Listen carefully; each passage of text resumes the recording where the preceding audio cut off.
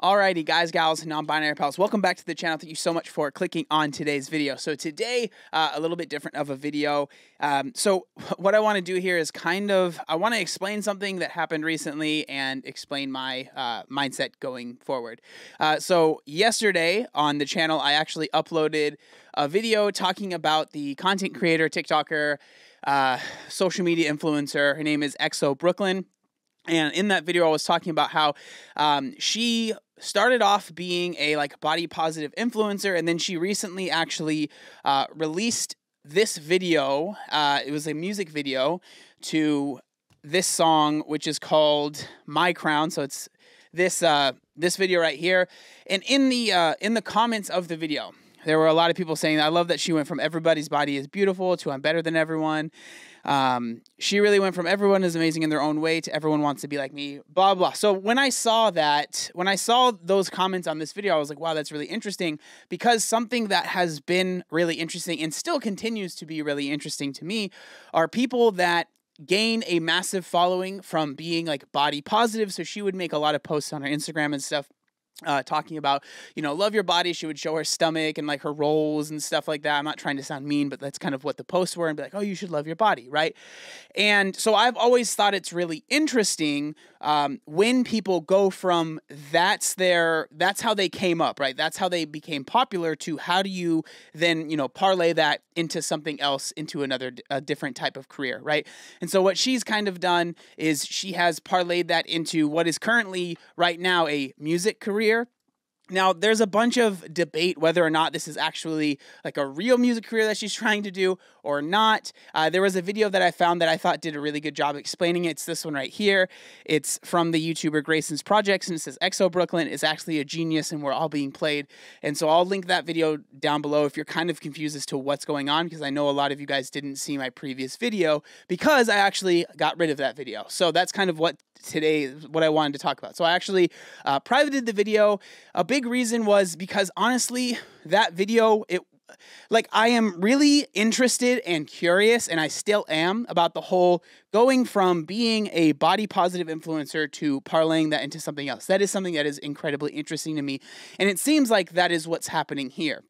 Now, a big reason why I decided to take the video down is that Brooklynne actually is a minor, so she's she's 17 years old, and I didn't mention that in my video. I did know that while I recorded it. I, I just I just didn't mention it. It, didn't even really come to my mind.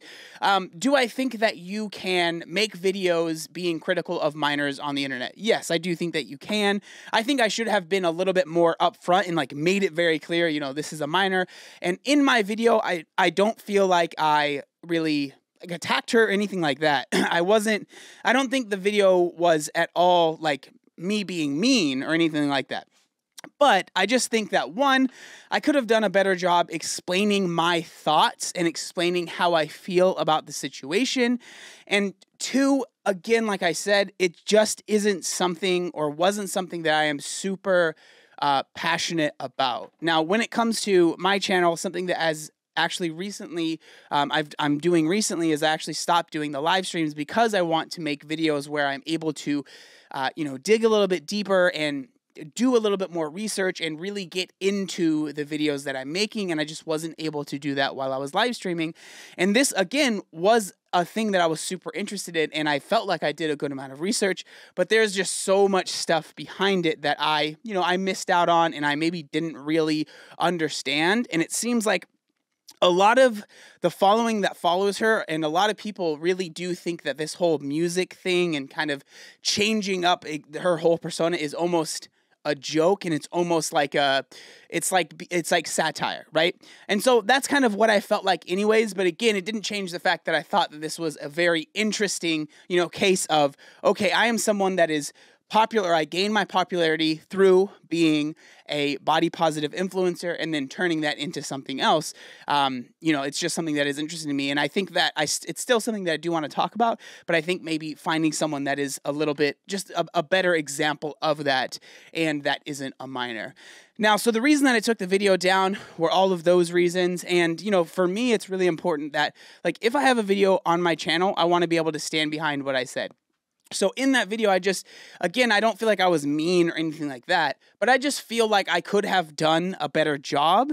And I feel like I could have done more research. I could have really, and especially not even with the research, but sharing my thoughts and my, um, my feelings a lot better. Because again, the whole reason I made the video is because I wanted to talk about that whole going from being a positive body positive influencer to turning into something else. Like that is and still is really, really interesting to me. So I took the video down just because I saw some comments and I was like, you know what? I agree with these uh, people that were being kind of critical of the video. I I didn't have much of a dog in the fight. I wasn't super one way or the other. It was more me just trying to share this phenomena that's kind of going on and then share my opinion.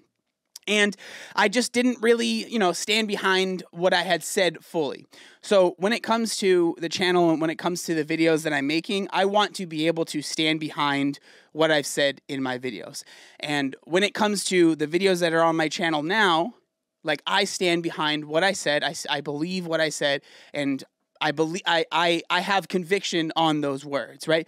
With that video, it was more kind of like me trying to talk about this underlying thing while the top, you know, was like this whole video, music video, song. Is it real? Is it fake? But I was trying to go deeper than that. And I just, I feel like maybe I just didn't do a very good job.